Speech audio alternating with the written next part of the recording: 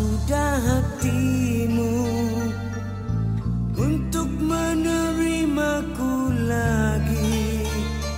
Apakah keras hatimu tak bisa